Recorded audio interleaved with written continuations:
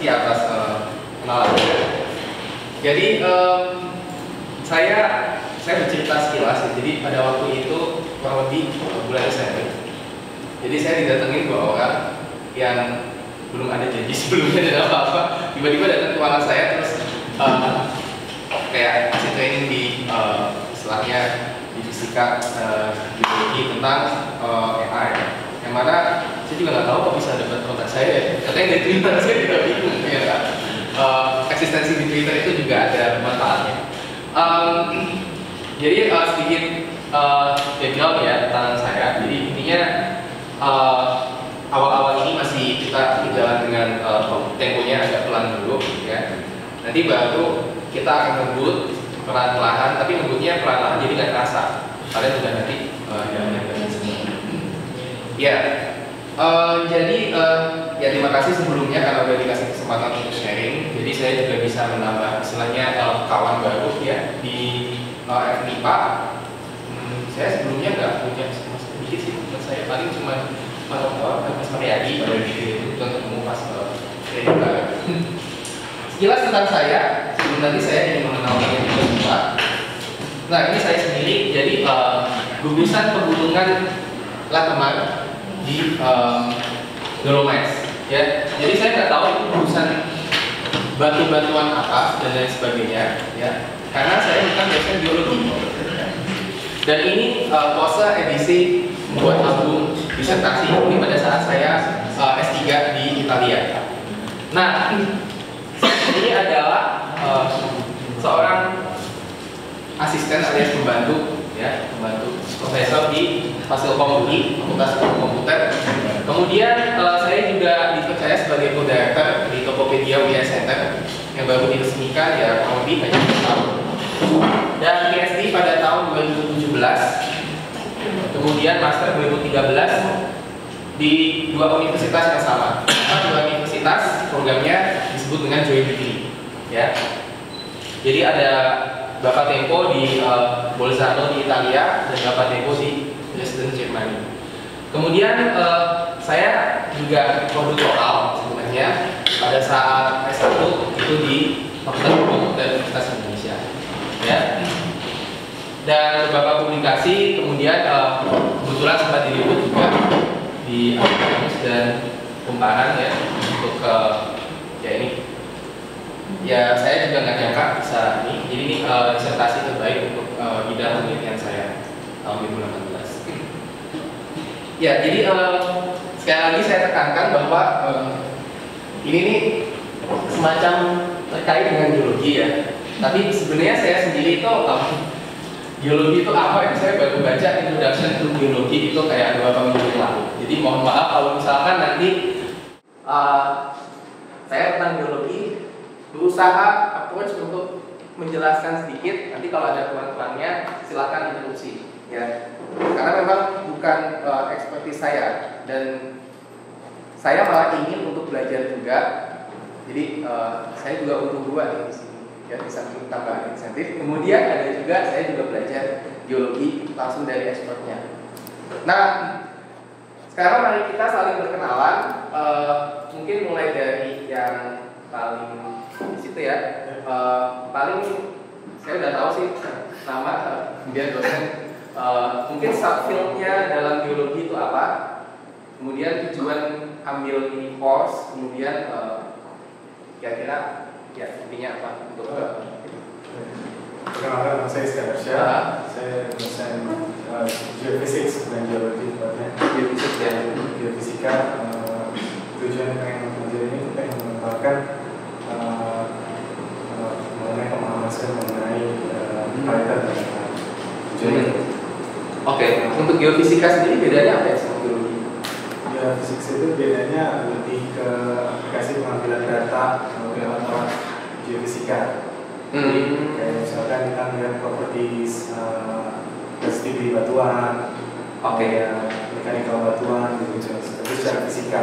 Tapi secara umum tetap ada Data, data ya, dan misalkan tasnya yang akan diselesaikan dengan data itu. Iya. Eh, selanjutnya eh, Mas Resti. Ya, ya. Uh, pengeluaran kembali mas, Hmm. Nah, nama saya Reski Adityo, uh, interest dari geologi, terus riset saya sedimentologi, stratigrafi, kemudian paleontologi dan juga geologi migas. Paleontologi itu yang dinosaurus. Paleontologi ya, tapi karena kita nggak ada di sini, jarang apa, belum belum pernah juga lihat saya uh, Oh, fosil-fosil. fosil-fosilan ya, fosil-fosilan betul. Jadi Oh. yang berkenaan dengan makhluk hidup yang sudah sudah mati kemudian jadi fosil. Kalau manusia yang misalkan 4000 tahun yang fosil nggak ya? Uh, sebenarnya batasnya sepuluh ribu sih 10.000 ya, kalau tidak sama fosil tapi itu juga dipelajari sih dalam geologi arkeologi biasanya uh, termasuk skop penelitian juga Oke, menarik. Saya baru dengar seminggu yang lalu juga paleontologi ada ya pelajaran khusus itu. iya Ya, eh, lanjut Mas Andi. Ya. Terima kasih. Eh, Nama saya Muhammad Rizky Septiandi, biasa dipanggil Andi. Saya staf pengajar di eh, program studi S1 Geologi. Untuk eh, minat riset itu di bidang biokimia migas, terus juga di komputasi sendiri sebenarnya, sama di kebencanaan dan lingkungan. Jadi udah ada beberapa sih riset-riset tentang machine learning. Mungkin masih yang awam banget, jadi ingin memperdalam lagi. Itu aja sih. Untuk yang disaster udah ada penelitian tentang mesin juga. Sudah lagi berjalan sih. Oh, iya. Oke, eh, mungkin bisa sedikit pemaparan kan kita sampai Iya. mungkin nanti kita Mungkin, bisa eh, ambil sebagai case study ya. boleh boleh. Selanjutnya Mas Felix, Bro Felix. Ya. Ya. Dan yang menariknya adalah di Netflix itu ini saya kaget juga 80% yang dibaca itu berdasarkan rekomendasi. Di YouTube mungkin itu kurang lebih juga sama. Ini menunjukkan bahwa AI itu sangat ngedrive ya eh, hal yang akan dilihat oleh orang. Dan teori konspirasinya, jadi pembuat AI itu bisa membuat kalian mengubah mindset kalian terhadap suatu hal. Tapi itu teori konspirasi, ya. Eh, harus ngobrol sama bin sama CIA, saya nggak ikut ikutan. Ya, jadi caranya kerja gimana? Jadi ini emang ada eh, dokumentasi resminya, official ya. Eh, berdasarkan misalkan interaksinya, interaksi itu contohnya kita nonton apa aja, ya kan? Dan yang menarik di sini other members dengan taste yang sama. Jadi misalkan saya suka nonton narkos, ya, saya suka nonton misalkan eh, sinetron yang apa istilahnya kayak sinetron Indonesia itu apa sih namanya? Kayak eh, adab-adab yang bawah yang yang ada adab-adab Si gitu. suka, si suka. musibah membawa berkah kayak gitu, gitu ya. Nah itu nanti kita akan direkomendasikan berdasarkan teman-teman kita yang suka nonton itu dia selanjutnya nonton apa? Nah itu bisa direkomendasikan ya. Jadi bahkan kalau Netflix tuh saking marahnya dia tahu nonton yang berdasarkan pagi siang malam ya. Ya mungkin juga bisa diperhitungkan kalau malam udah nikah apa belum? Kalau udah nikah nontonnya sama istri berarti yang romantis ya kan? Netflix and chill. Iya. ya jadi eh, kurang lebih ya.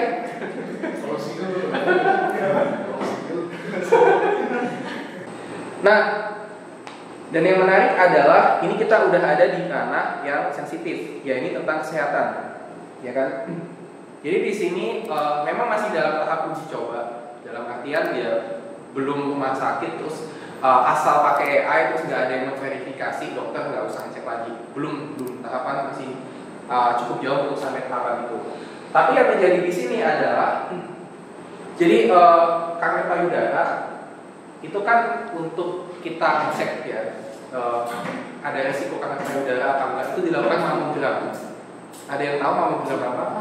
Jadi kayak X-ray, ya tapi bagian payudara. Dan itu kan ada fotonya, ya hasil X-ray-nya. Dan hasil X-ray itu dianalisis, ya kan? Jadi eh, kira-kira gambar yang bagaimana itu yang resikonya tinggi untuk terjadi kanker payudara.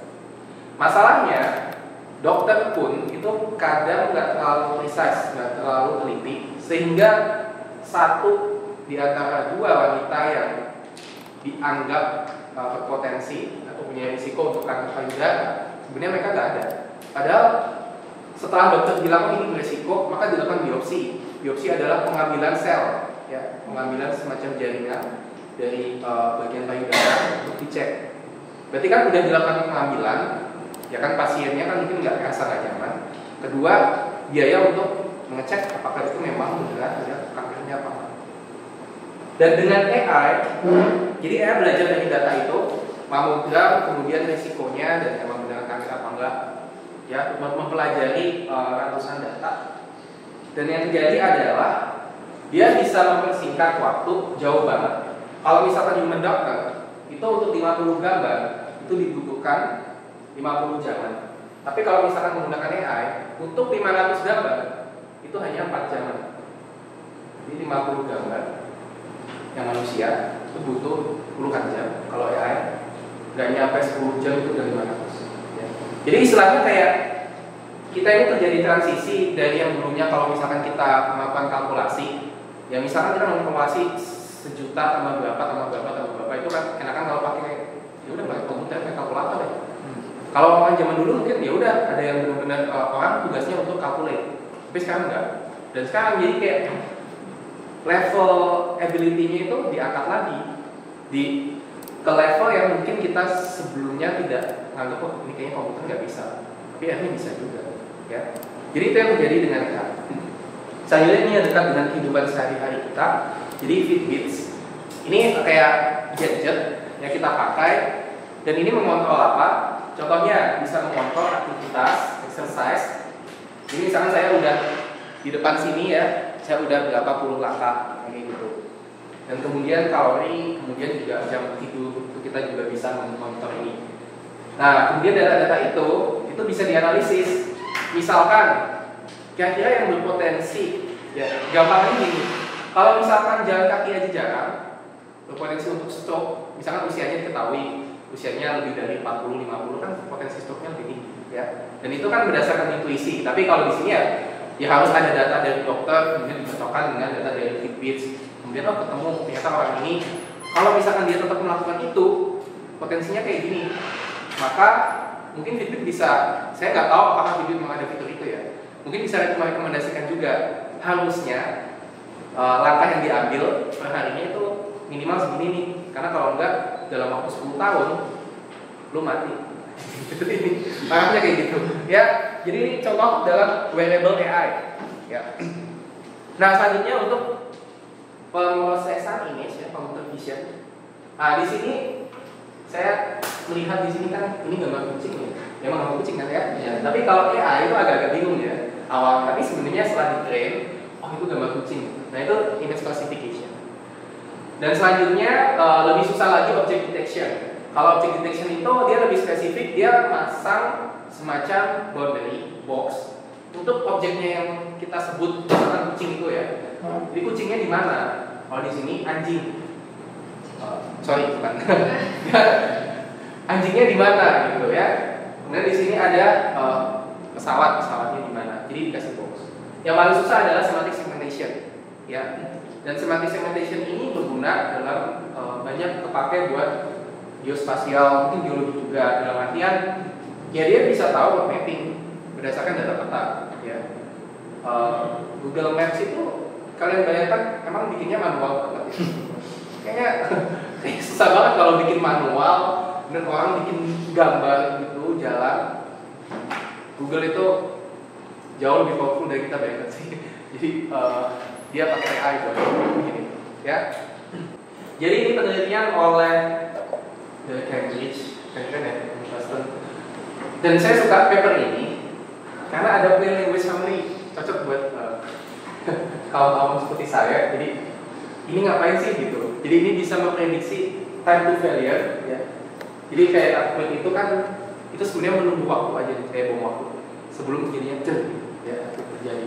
Jadi dia itu menggunakan analitik akustik ya akustik emission yang earthquake kayaknya Mas Adi kalau lebih jadi saya sempat tanya juga uh, kayak earthquake itu biasanya apa sih ininya? Kalau nggak salah ada data Mas ada ada data ini ya kayak getaran itu ya seismik seismik juga tapi kadang ada akustik juga kurang lebih gitu yang dipaparkan di sini adalah dari data akustik ya yang kali ini masih di laboratorium hmm. karena kalau laboratorium itu enaknya bisa dimanipulasi suka bukan manipulasi hasil riset tapi manipulasi misalkan kalau eh, datanya segini itu hasilnya ada efek apa enggak kayak gitu jadi dia bisa melakukan eksperimen tentang earth faulting.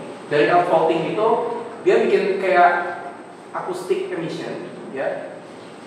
Diklaim itu mimix mendekati earth faulting dari bumi ya. Dan dia itu tidak memprediksi timing untuk terjadinya earthquake ya. Jadi dia itu ngomong kalau misalkan ini bisa manfaatnya banyak banget untuk memprediksi tsunami contohnya sih kalau di Indonesia ya. Atau ya longsor dan sebagainya.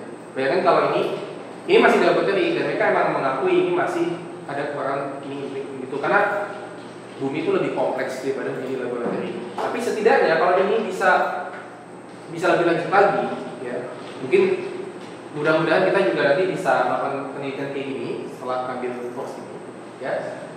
Jadi kita bisa memprediksi kapan harus kita membeli uh, alarm bahaya ketika terjadi sebelum terjadi earthquake. Kita mau uh, ngecek misalkan ada gempa ringan terjadi di sini gempa besarnya itu kita bisa memprediksi kayaknya bulan depan itu akan ada gempa besar di hari apa dilakukan evakuasi. Kalau misalkan ternyata benar terjadi gempa kalian pasti masuk berita. Ya. dianggapnya apa? Dukun. Dukunnya berdasarkan machine learning kan? Ya. Jadi uh, ini kurang lebih kayak gini sih tapi intinya adalah jadi ini datanya acoustic emission. Dan ini akan diprediksi ya. Diprediksi itu time to failure ya kan? Ini kan kelihatan nih ini pas ada gempa buatannya ya. Nah di sini acoustic emissionnya itu kan kayak uh, disturbance gitu ya. Jadi dia kayak enggak makin lama dia itu makin variasinya makin tinggi disturbance-nya. Jadi kayak uh, kalau kalau orang uh, apa ya kalau saya mikirnya kalau orang misalnya naik kasur ya kan? Kita goyang-goyangin? Pelan pelan pelan makin lama makin kenceng kan? Ngekok ngekok ngekok gitu kan? Terus jadi ini ada kayak variasinya itu makin dari akustik emission itu makin tinggi. Jadi itu ternyata kalau misalkan semakin tinggi variansinya itu berarti uh, bisa memprediksi itu akan menjadi gempa dan ini bisa diprediksi kalau misalkan segini ini ke depannya kapan? Misalkan segini ke depannya kapan? Dari variansi dia dan kemudian ada kurtosis dan uh, di sini ada threshold untuk analisis outlier-nya jadi di sini kalau misalkan udah tahap ketika emang udah mau terjadi gempa dua fitur ini kurtosis sama threshold itu juga menjadi berperan ya itu menariknya di penelitian ini ini menggunakan random forest. Kali ini nanti akan saya ajarkan random forest. Ya, forest itu adalah kumpulan dari decision tree. Decision tree itu adalah tree mengambil keputusan. Jadi misalkan saya ingin, ingin sekilas, tree pengambil keputusan. Misalkan saya mau uh, beli makan di food, apakah ada diskon? Kalau nggak ada, kita nggak beli. Ya, ya. Mungkin uh, saya masih agak juga mahasiswa juga. Kalau nggak ada diskon ya udah nggak beli gitu belinya di sebelah aja kalau dibakar kalau ada diskon diskonnya 90% langsung beli diskonnya 60% lihat tuh kondisi dompet OVO saldonya masih berapa ini gitu ya jadi itu decision tree tapi ini untuk data real untuk data yang quick ya ini kayak gitu.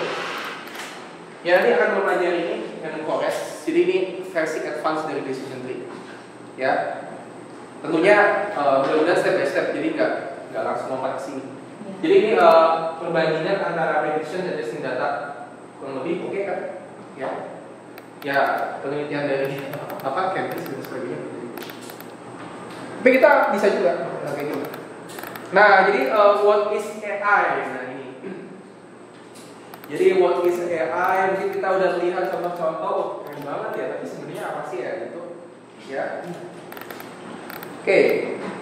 Bapak AI, John McAfee diwawancarai sebenarnya uh, beliau udah me, Islam mendefinisikan AI tahun 1955 ya sebelum machine learning terkenal banget sekarang jadi dia itu ininya adalah sains dan ilmu teknik bagaimana membuat mesin pintar ya. Oke, tapi ini kan agung ya maksudnya pintar itu apa? Oh pintar itu adalah kemampuan komputasi ya. Penghitungan. Komputer kan memang jago kalau penghitungan. Tapi kita udah mainnya nggak dua plus tiga kali angka ya udah 40 sekitar seperti itu ya. Jadi untuk mencapai suatu goal ya. Ya manusia kan memang gitu. Ya jadi misalkan eh, untuk mencapai goal membeli eh, sate berarti kan nggak gampang loh membeli sate. Kita harus bisa ngomong bang sate bang gitu kan. Itu kenapa? Itu karena kita intelligent gitu. Bapak seribu tusuk nah, kira-kira gimana itu? Abangnya takut ya? Seribu tusuk pakai daun. Ya Iya, jadi eh, itu intelijen juga. Ya termasuk setan itu buat menakuti manusia betul intelijen bro. Ya nggak mungkin malah manusianya pas lagi rame banget, pas lagi bawa senjata mau tahuan siang hari, pasti setannya digebukin. Ya pintar juga keluarnya malam hari gitu kan. Pas sepi-sepi gitu, pas kita sendirian. Intelijen gitu. Nggak tapi eh, apakah ada definisi yang solid untuk intelijen yang tidak terkait dengan human intelligence ini dikaitkan dengan human intelligence. Bahkan Bapak PHS sendiri bilang katanya, ya ini masih terkait dengan manusia. Dan mungkin kita akan go beyond human intelligence masih belum tahu. Ya. ya jadi urutan-urutannya untuk data science jadi mulai dari uh, masalahnya apa. Jadi ini nanti bisa di uh, kita memang harus menemukan masalah dulu karena kan ya kita mau menyelesaikan apa sih? Tapi sebenarnya bisa aja sih pendekatannya dari kita punya data ini kita cari masalahnya apa? Pendekatannya gitu. Jadi nyari nyari masalah. Nah jadi um, mulai dari problemnya apa yang kita butuhkan apa kemudian kita mengumpulkan datanya terkait dengan problem itu. Selanjutnya kita melakukan pemrosesan data. Nah pemrosesan data ini kita bisa melakukan data cleaning dan lain sebagainya. Jadi ya mungkin orang input data ada yang ngaco ya, ada data yang kosong dan lain sebagainya. Dan selanjutnya kita melakukan eksplorasi pada data ya. Jadi kita melakukan deskriptif statistik lah. Jadi kayak melakukan minnya apa, outlier apa, korelasinya kayak gimana. Lalu ini yang in-depth analysis. Ini yang kita melakukan prediksi menggunakan teknik machine learning. Ya. Kalau ternyata masih kurang tepat, oh mungkin ada datanya yang nggak balance kita ulang lagi di sini. Mungkin datanya kurang.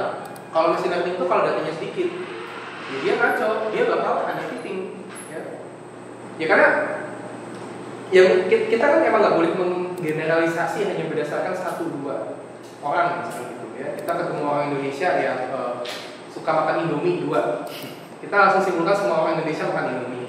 Belum tentu. Tapi kayaknya sebagian besar ya. Yeah. Indomie gorengnya gitu.